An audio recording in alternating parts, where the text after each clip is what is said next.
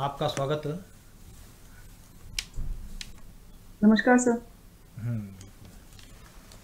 Madam ऐसा है कि आपने जो अपना बायोडेटा यहाँ पर लिखा है उसके अंदर 2015 तक आप वर्किंग में थे आईटी इंडस्ट्रीज़ में। जी सर। तो 2015 के बाद में और 2020 इस ड्यूरेशन में क्या किया आपने?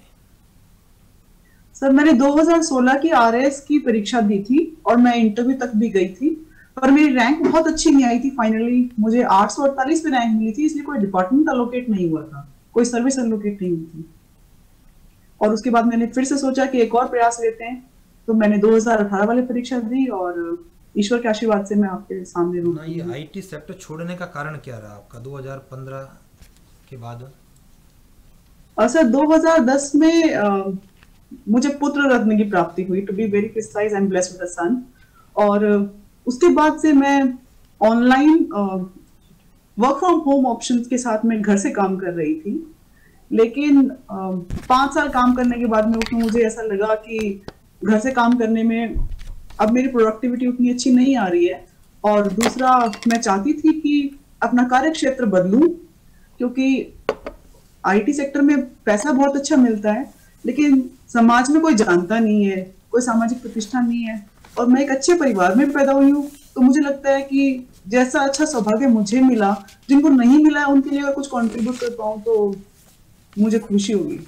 चलिए मैडम आपकी तीन प्राथमिकताएँ बता दीजिए आप कि जो एज अ प्रशासनिक अधिकारी आरएस बनने के बाद में आप जो करना चाहेंगे। सर सबसे पहले तो मैं ऐसा चाहूँगी कि जो भी योजनाएँ बनी हुई हैं वो किस वजह से अपने गोल को नहीं पहुँच पा रही है मैं उसको पहले स्टडी करूँ। और गोल ओरिएंटेड उनका प्लान बनाऊँ और उसको एग्जीक्यूट करने के लिए टेक्नोलॉजी किस प्रकार से मेरी मदद कर सकती है उसका एक प्लान चॉकआउट करूँ। दूसरा सर ग्रामीण परिवेश के साथ जब मैं क्लोजली कनेक्टेड हुई तो मैंने देखा कि मजिस्ट्रेट साहब के ऑफ़िस में बहुत सारी फाइल्स पेंडिंग रह जाती हैं जिसकी वजह से बहुत सारी ज़मीन पे खेती ही नहीं हो पाती है।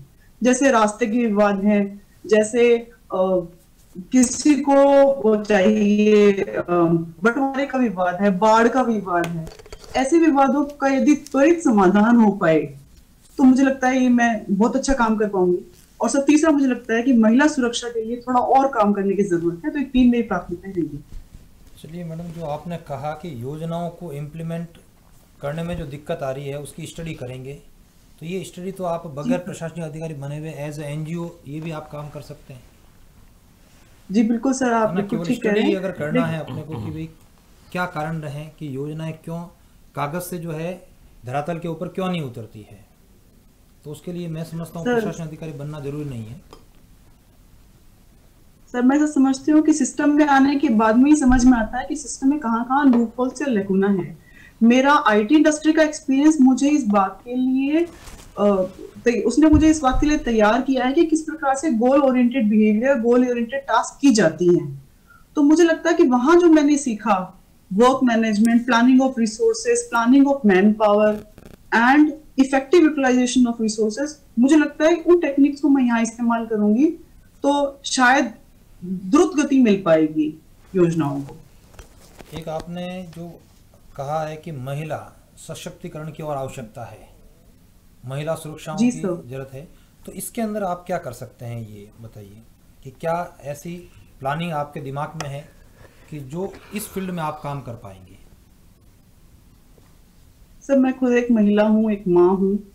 कुछ चीज़ों को जैसे समाज अब उम्र के इस पड़ाव पे आकर के मैं समाज को बहुत अच्छे से समझने लगी हूँ तो मैंने एक चीज़ देखी है कि सुरक्षा में कमी का दो मुख्य कारण है। एक तो ये कि हमने मोबाइल जैसा एक ऐसा हथियार प्रत्येक व्यक्ति के हाथ में पहुँचा दिया है, जिसको ये समझ नहीं है कि क्या इसका गलत उपयोग हो सकता है क्या इसका सही उपयोग हो सकता है। दूसरा सर मैंने देखा है कि हमारे गाँव में जहाँ बड़े बूढ़े या इनफेक्ट हमारे समाज में जो बड़े बूढ़े, किसी को भी टोक दिया करते थे कि, अरे बेटा क्या कर रहे हो? कहाँ जा रहे हो? या जैसे गाँव में सभी की बहु बेटियों को समान दर्जा देने वाली जो प्रथाएँ थी सर उनमें, मुझे लगता है कि वो उसमें कमी आ गई है। तो हमें पार्टिसिपेशन की ज़रूरत है, जहाँ हमारे एल्डरलीज पार्टिसिपेट करें। वो आगे आए और वो अपना रोल जो पहले निभाया करते थे, उसको फिर से निभाएँ। तो उसके लिए जब हम यंग वंस उनसे रिक्वेस्ट करेंगे, ऐसा एक सोशल प्लेटफॉर्म बनाएँगे रेगुलरली इंटरेक्शन करेंगे तो मुझे लगता है कि जो हर रोज होने वाली घटनाएँ हैं ईव टीजिंग्स हैं, वो सब रुकेंगी। वरना सर आजकल ऐसा बहुत I am sorry I am taking long लेकिन ऐसा होता है कि ऑटो में एक बच्ची बैठी है साइड में कोई और है उसको अगर छेड़ भी रहा है तो ना तो बच्ची बोल पाती है ना ऑटो रिक्शा ड्राइवर बोलता है।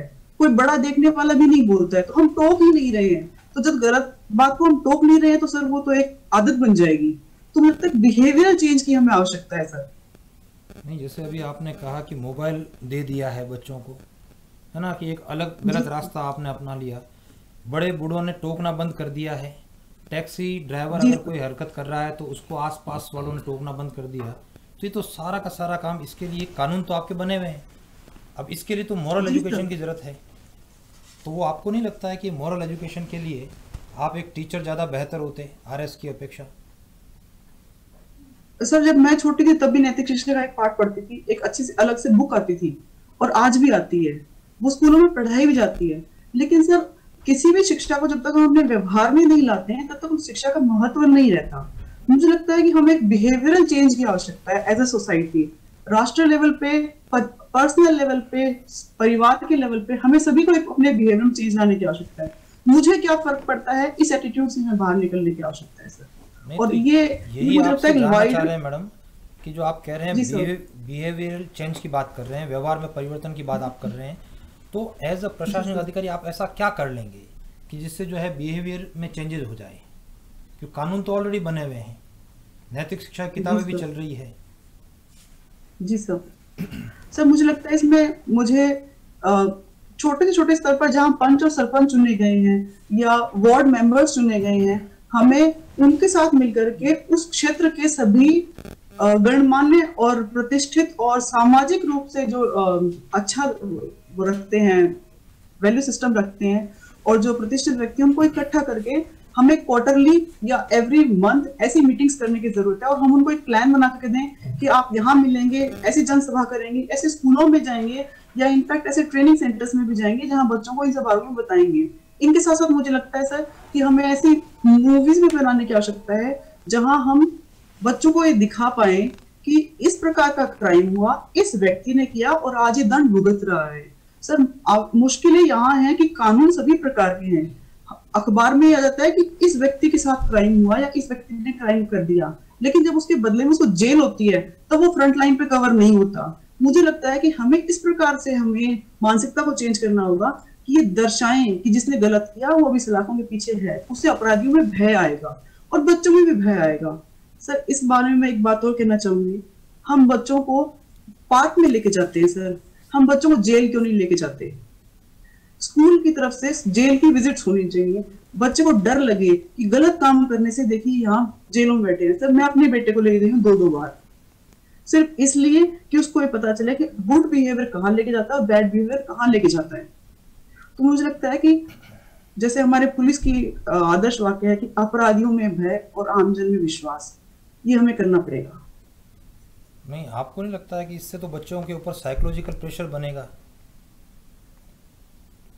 जो अपने नहीं सर हमारे जैसे कि भी बच्चे जो है डिप्रेशन में आ जाते हैं कई बार जो है पढ़ाई से विमुख हो जाते हैं आत्महत्याएँ कर लेते हैं तो ये जो बच्चों को जेल ले जाना तो एक डिप्रेशन का कारण उनके लिए बन सकता है।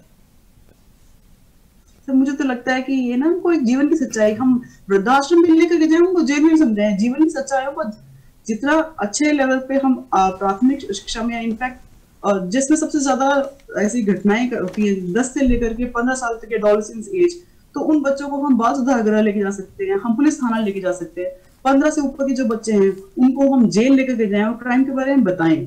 सर, मैं इस प्रकार के थॉट्स रखती हूँ कि मुझे लगता है कि जितनी अधिक जानकारी होगी और जितना अधिक कानून के प्रति बच्चों में जानकारी हो और उसके आफ्टर इफेक्ट्स के बारे में जानकारी हो उतना ही सदावा बिहेवियर करते हैं। अगर हम बच्चों को यह समझाते हैं कि अगर आप रेड लाइट जंप करेंगे तो बेटा वो लगेगा चालान लगेगा तो हमें यह भी बताने की आवश्यकता है कि किसी और बच्ची के साथ आपने दुर्व्यवहार किया है तो आपको जेल होगी और देखिए बच्चे जेल भुगत रहे हैं। हमें ऐसा बताने की आवश्यकता है सर। चलिए मैडम हम इस पर कम बातें करते हैं। कि अभी राजस्थान सरकार की ओर से बालिका शिक्षा को बढ़ावा देने के लिए कौन कौन सी योजनाएँ चल रही है विद्यालय स्तर पर? सर, मुझे एक मिनट का समय चाहिए सोचने के लिए, क्योंकि मैं कभी ग्रामीण विद्यालय में गई नहीं, पर मैंने कुछ योजनाओं के बारे में पढ़ा है।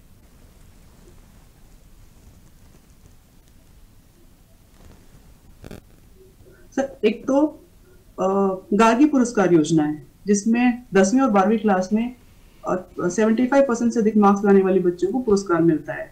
इनके अलावा ऐसी बच्चियाँ जो दसवीं पास करती हैं गवर्नमेंट स्कूल से साठ प्रतिशत से अधिक मार्क्स के लिए उनको साइकिल की व्यवस्था की जाती है। इनके अलावा मुख्यमंत्री राष्ट्रीय योजना चल रही थी पिछले टाइम में, जो अभी भी कंटिन्यू है, उसमें भी बच्चों को प्रोत्साहन दिया जाता है। बालों के लिए अलग विद्यालय की गई है और बालिकाओं के लिए मुफ़्त मुफ़्त शिक्षा तो सर है ही। इनके अलावा सर बालिकाओं को पोस्ट मैट्रिक स्कॉलरशिप भी दी जाती है। आई एम सॉरी सर, मुझे इतनी याद आ रही है। चलिए मैडम जैसे भी आपने कहा टेंथ पास बालिकाओं को साइकिल दी जाती है। जी क्या ये सही है जो आपने तथ्य बताए हैं?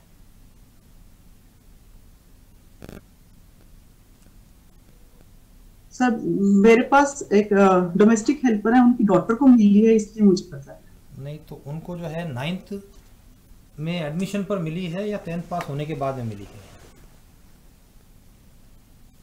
I need to once again check it sir चलिए मैडम एक जो है आपने हॉबी के अंदर ऐसा लिखा है कि मैथमेटिक्स क्यूज विथ सन। जी सर ठीक है ना? तो चलिए एक जो है इसके ऊपर एक प्रश्न लेता हूँ मैं।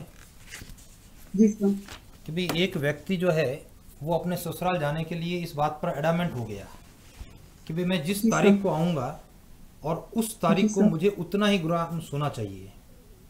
जैसे आप समझ रहे होंगे छह तारीख को आऊँगा तो मुझे छह ग्राम सोना चाहिए और पच्चीस तारीख को आ रहा हूँ तो पच्चीस ग्राम सोना चाहिए।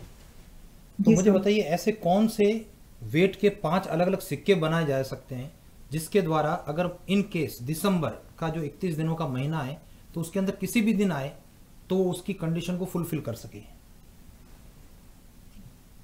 सर पाँच अलग अलग वेट के सिक्के। जी बिल्कुल सर।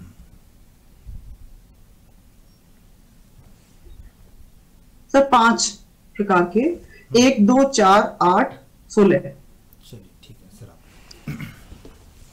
हाँ आप एक माँ भी हो नमस्कार और एमसी हो। एमसी क्या होता है? सर ये एक प्रोफेशनल पीजी कोर्स है। कंप्यूटर इसका पूरा नाम master masters in computer application है sir. Computer safety on audit पर आपका क्या विचार? है सर कंप्यूटर सेफ्टी और कंप्यूटर ऑडिट दो अलग अलग ब्रांचेस कही जा सकती हैं कंप्यूटर साइंस की। कंप्यूटर सेफ्टी में हम access to computer and then the data inside the computer must be authorised and protection of a computer in physical means हम तीन चीज़ों की बातें करते हैं। अच्छा, थोड़ा सा मैं और जब हम डिफ़िकल्ट और पूछूँगा आपको। मूर्स लॉ क्या है? कंप्यूटर एप्लीकेशन में। M O O R E Moore's law है। It is related to computer जी बिल्कुल ठीक कह रहे हैं सर आप लेकिन आई एम सॉरी मैं उसको याद नहीं कर पा ओके आपको आर एस ऑफिसर बनाएँगे हम राजस्थान में कहीं पे भेज देंगे। जी सर। मेरे को पता नहीं आप कौन से ज़िले की हो। हमारे नागौर ज़िले में जी सर। एक गाँव है खियाड़ा जी सर। और उस एरिया के चौधरी फ़ेमस थे। जी सर। ठीक है? और that area is also very important for biological resources आप कोई आइडिया है कि क्या गाँव है क्या नहीं है? आई एम सॉरी सर इतना इंटीरियर तो मैं नागौर के बारे में नहीं जानती। एक डाबड़ा एक डाबड़ा कांड हुआ था राजस्थान की हिस्ट्री में। तो फार्मर्स का जागीरदारों के बीच में था तो डाबड़ा सर सर आ, मैं इतना जानती हूँ कि ये आज़ादी आज़ादी के आ, कुछ ही महीनों के अंतराल के मध्य हुआ कांड था जिसमें दो किसान शहीद हुए थे। Okay Mrs Sumitra Singh. जी सर। उनका क्या या राजस्थान में क्या रही वो? सर वो झुंझुनू ज़िले से बिलोंग करती थी करती हैं हाँ। और राजस्थान की पहली महिला विधानसभा अध्यक्ष सन 2004 में मैडम कमला बेनीवाल। जी सर। वो सर वो आप महिला हो इसलिए पूछ रहा हूँ। जी सर मैडम कमला बेनीवाल राजस्थान की पहली महिला उप मुख्यमंत्री भी रही हैं और वो आ, महिला मंत्री भी रही हैं और वो झुंझुनू ज़िले से ही बिलोंग करती थी सर। एक एक्सपर्ट जयपुर से भी जुड़े हुए हैं वो अब आपसे प्रश्न पूछेंगे। जी सर। मैडम किस ज़िले से बिलोंग करते हैं? सर मैं झुंझुनू ज़िले से बिलोंग करती हूँ। अच्छा चलो बहुत बढ़िया। आप बताएँगे कि जो भारत है वो चाइना से विकास में पीछे रह गए या चाइना ने भारत से ज़्यादा विकास किया है? सहमत है? सर विकास के अपने अपने मायने हैं। यदि हम करंट स्थिति में जीडीपी की बात करें या जीडीपी साइज़ की बात करें तो चाइना हमसे बहुत आगे निकल चुका है। चाइना ने हमसे करीब 20 साल पहले अपनी इकोनॉमी को खोल लिया था और मैन्युफैक्चरिंग हब में के रूप में विकसित हुआ है। वर्ल्ड की सप्लाई चेन में चाइना एक बहुत बड़ा डोमिनेट रोल प्लेयर है। तो उस केस में हम कहेंगे कि हाँ चाइना ने बहुत अच्छा विकास कर लिया है। किंतु सर, हम भी पीछे नहीं है। मुझे लगता है कि दी गई परिस्थितियाँ, चुनौतियाँ दी गई तुरंत बाद का हमारा सामाजिक परिप्रेक्ष्य उन सबको ध्यान में रखते हुए भी भारत पीछे नहीं है। तो एक एक, एक ट्रांसपेरेंट या एब्सोल्यूट कंपैरिजन शायद मुश्किल होगा। दोनों देश की फिर व्यवस्थाएँ अलग अलग हैं। दोनों देश का शासन का सिस्टम अलग अलग है। तो वी कैन नॉट एब्सोल्युटली से कि कौन आगे बढ़ जाता है। ठीक है आ, कुछ मामलों में आर्थिक विकास भले ही चाइना ने किया है लेकिन लोकतांत्रिक विकास मानवीय विकास, इन सब में तो काफ़ी पीछे लग रहा है। सहमत है? जी सर, मैं आपकी बात से सहमत हूँ। वहाँ एक पक्षीय पार्टी है और थियामिन चौक जैसी घटनाओं के बारे में जब सुनते हैं तो लगता है कि चाहे कितना भी इकोनॉमिक विकास कर लिया हो, लेकिन मानवीय विकास में बहुत पीछे हैं। चाहे ताइवान की घटना हो, हांगकांग पे उनका कब्जा हो, या जिस प्रकार से कोविड के मामले में हम देखते हैं कि लोगों का उन्होंने एकदम दमनकारी नीति के साथ उनको दबाया जिस साइंटिस्ट ने सबसे पहले डॉक्टर ने सबसे पहले इस बात को उजागर किया। उनका भी आ, उनको भी फोर्स किया गया कि वो अपने स्टेटमेंट को बदले। और कोई भी जब उनके यहाँ से बाहर कोई चीज़ निकल के नहीं आती कोई न्यूज़ निकल करके नहीं आती तो इस मामले में कहूँगी हम अभिव्यक्ति की आज़ादी के मामले में हम बहुत आगे हैं। हम मानवीय जो अधिकार है उनके पैरोकार भी हैं और हमारे यहाँ बहुत अच्छी डेमोक्रेसी चल रही है सर जी ठीक है। मैं बताना चाहूँगा आपको कि स्वीडन की एक संस्था है जिन्होंने अभी अपने भारत की प्रशासनिक सेवाओं पर एक रिपोर्ट जारी की है। तो उस रिपोर्ट में बताया गया है कि भारत के अंदर जो वर्तमान जो नए रंगरूट हैं वो सत्यनिष्ठा के लिए सेवा के बजाय प्रतिष्ठा के लिए सेवा में आना चाहते हैं। क्या आप सहमत हैं? सर मैं इस बात से तो सहमत नहीं हूँ क्योंकि मुझे लगता है कि मेरे लिए भी इस सेवा में आने का कारण रंगरूट वैसे बेसिकली सोल्जर रिक्रूट्स को कहते हैं और भारत की भारत की इस बात को सिर्फ़ कुछ लोगों पे किए गए सर्वेक्षण के हिसाब से मुझे लगता नहीं कि ऐसी रिपोर्ट्स को हमें हाँ करना चाहिए। क्योंकि जब हम ट्रांसपेरेंसी इंटरनेशनल जैसी बात देखते हैं, तभी हम देखते हैं कि सिर्फ़ बीस हज़ार लोगों पे सर्वे किया जाए और भारत को निचले पायदान पे खड़ा कर दिया जाए। तो जहाँ हमारा साइज़ दस लाख सोल्जर्स का है, उसमें से कुछ हज़ार पे किए गए सर्वे को हमें नकार देना चाहिए सर भारत के सोल्जर्स की इंटीग्रिटी उनकी सोच उसके ऊपर कोई डाउट नहीं है सर नहीं मैं प्रशासनिक सेवा के जो नए कैंडिडेट हैं उनको भी उनके संबंध में है कि प्रशासनिक सेवा के वर्तमान जो जैसे आप नए जो प्रशासनिक सेवक आ रहे हैं वे प्रतिष्ठा के लिए सेवा में आ रहे हैं न कि सत्यनिष्ठा के लिए सेवा में। सर कहीं ना कहीं सामाजिक प्रतिष्ठा सभी के लिए एक अट्रैक्शन का कारण है। मैं भी अपने बहुत बड़े मो, मोटे पैकेज को छोड़ करके इस सेवा में आने के लिए सामाजिक प्रतिष्ठा को कुछ कारणों में शायद टॉप फाइव कारणों में जगह देती हूँ। लेकिन फिर भी मेरे मन में एक भावना है कि जो मुझे बेस्ट मिला इतना अच्छा परिवार मिला इतनी अच्छी एजुकेशन मिली तो कोई और सिर्फ़ इसलिए क्यों डिप्राइव रहे कि वो एक अलग घर में पैदा हुआ या सोशली इकोनॉमिकली वो साउंड नहीं है? तो मेरी शिक्षा से मेरे एक्सपीरियंस से यदि मैं कंट्रीब्यूट कर पाऊँ तो मुझे लगता है कि मेरा आने का एक सबसे बड़ा मोटिव ये है और सेकेंडरी ऑफ़ कोर्स सर प्रतिष्ठा भी है। तो दोनों कह सकते हैं सर लेकिन टॉप कारण तो शायद प्रतिष्ठा नहीं है। यदि सत्यनिष्ठा में गिरावट आई है ये तो मानते हैं आप? और सर रोज आने वाली अखबार में जो समाचार दिखते हैं जब करप्शन की बातें सुनते हैं तब लगता है कि शायद सत्यनिष्ठा में गिरावट आई होगी। किंतु सर टोटल जो हमारा कैडर है जि, जितने लोग काम कर रहे हैं उनमें से कुछ घटनाओं को शायद 0.1 परसेंट ऐसे कुछ परसेंटेज होगा तो उसे जनरलाइज करना गलत होगा। सत्यनिष्ठा में गिरावट। जी जी मैडम यदि अपन सत्यनिष्ठा को बढ़ाना चाहें तो आप एक लाइन में प्राथमिक सुझाव क्या देंगे? प्रशासकों में सत्यनिष्ठा में जो गिरावट महसूस कर रहे हैं या जो तथाकथित गिरावट दिखाई जा रही है कहीं ना कहीं तो उसमें सत्यता भी होगी तो उसके लिए सुधार के लिए कुछ सुझाव सर मैंने कॉर्पोरेट में रहते हुए कुछ ऐसी ट्रेनिंग ली है जैसे मेरी पहली ट्रेनिंग थी वो एम्प्लॉयशिप की थी it taught me a principle that you are a friend of your colleague only because you are working in the same umbrella of your employee so first of all i need to be more faithful to my employer employer than the my colleague similarly same principles same similar training have to be imparted for everyone in the administration so training can certainly help sir अच्छा प्रशिक्षण के माध्यम से ये काम किया जा सकता है। चलिए मुझे लास्ट क्वेश्चन मैं आपसे पूछ रहा हूँ कि जो झुंझुनू में झुंझुनू की जो हृदय रेखा के रूप में कोई नदी है? जी सर। नाम बताएँ कांकी नदी है।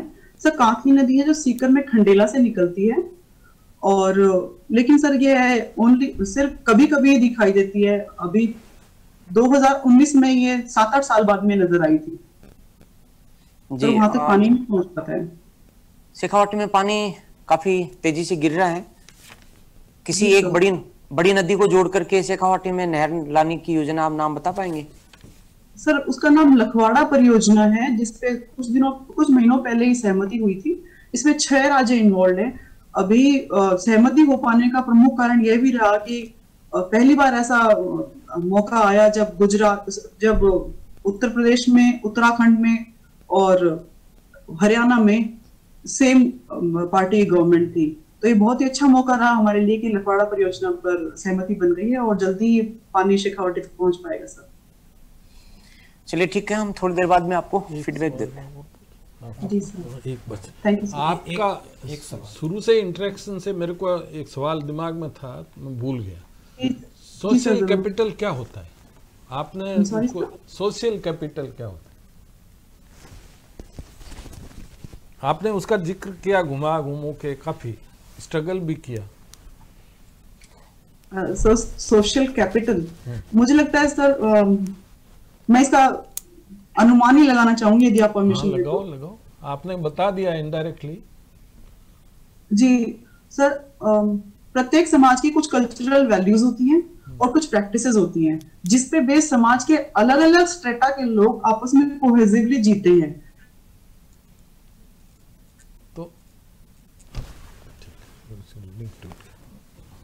ठीक है जी कुछ समय बाद वापस जो है आपसे कांटेक्ट करते हैं समाज के पूर्ण उत्थान के लिए थैंक यू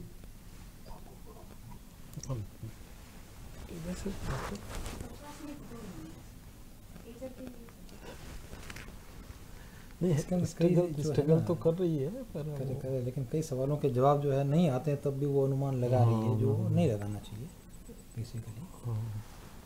ठीक है मतलब ओवर एंथुजियास्टिक है एम्बिशियस हम्म। है विदाउट नॉलेज चलो ठीक आप बता दें। चलिए ज्वाइन कर लीजिए आप वापस।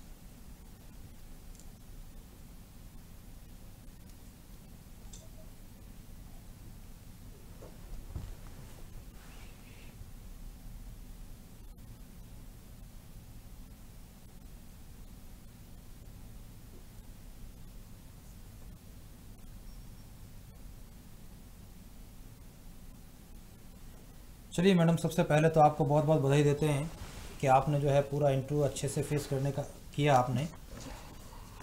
कम्युनिकेशन स्किल जो हम लोगों को ऐसा लगा कि आपकी अच्छी है। लेकिन कुछ सुझाव जो है इस इंटरव्यू के दौरान जो हम लोगों ने देखे हैं इसको आप जो है नेगेटिव रूप में नहीं लेकर के एक पॉजिटिव कमेंट्स के रूप में लेना जो भी सुझाव हैं ताकि उसके अंदर जो है आप थोड़ा सा इम्प्रूवमेंट आप कर सकें। एक सबसे पहली चीज़ कॉन्फिडेंस को लगातार आपको बनाए रखना है। क्योंकि कई बार ऐसा लगा कॉन्फिडेंस बहुत अच्छा है। कई बार जो है आप कॉन्फिडेंस को लूज कर गए हैं बीच के अंदर। और जो प्रश्न हमको नहीं आता है कोई ज़रूर नहीं है। जो कि भाई हम सभी प्रश्न का उत्तर दें। आप तो बहुत विनम्रता के साथ में कह सकते हैं कि भाई ये जो है मुझे जानकारी नहीं है ठीक है? लेकिन उसको गलत अटैम्प्ट करने का आप प्रयास मत करें। जैसे एक छोटा सा एग्ज़ाम्पल दे रहा हूँ मैं आपको कि जब सर ने पूछा आपसे डाली बाई के बारे में और आपने जो है उसका उत्तर दिया काली बाई के रूप में। है ना? दोनों बिल्कुल अलग अलग जो आपके जो आंसर्स जो हैं बिल्कुल मिसमैच हो रहे थे आपके। इसी प्रकार से जैसे गार्गी पुरस्कार के बारे में जो आपने कहा और उसी के साथ में कहा कि साइकिल वितरण। तो साइकिल जो दी जाती है बच्चियों को नाइन्थ क्लास के अंदर जब वो प्रवेश लेती है गवर्नमेंट स्कूल में तो उस समय दी जाती है और आपने कहा कि टेंथ पास होने के बाद में। तो इस प्रकार के हम लोग कमेंट से बचें। जो जानकारी अगर हमको है और पूरी प्रॉपर है तो आप उस जानकारी को आप प्रोवाइड करने का प्रयास करें। अदरवाइज़ जो है बहुत विनम्रता के साथ में आप उसको मना कर दें। तीसरी चीज़ जो है आपका आई कांटेक्ट लगातार बना होना चाहिए। जैसे कई बार जो प्रश्न पूछा गया और आपने सोचते समय जो है अपना यूँ सिर ऊपर की ओर करते हुए आँखें जो है हवा के अंदर उठा ली है ना इस प्रकार से तो आई कांटेक्ट जो है कोशिश करें कि आप लगातार जो है बना रहे। हैं चलिए जयपुर से सर। आ, सर काफ़ी ठीक था। कुछ चीज़ें हैं कि आ, इनको फैक्चुअल थोड़ा नॉलेज और रखना चाहिए। और अवचेतन मस्तिष्क में इनको इन्होंने सर ने जब पूछा था तो डूंगरपुर को डूंगरगढ़ बोल रहे थे। तो अवचेतन मस्तिष्क से थोड़ा सा न बोलने की कोशिश करें। और ना कहना बुरी बात नहीं है। ना कहें जहाँ नहीं आता। ठीक है बाकी सब बढ़िया था। ठीक madam thank you good luck sir so thank you luck thank you sir.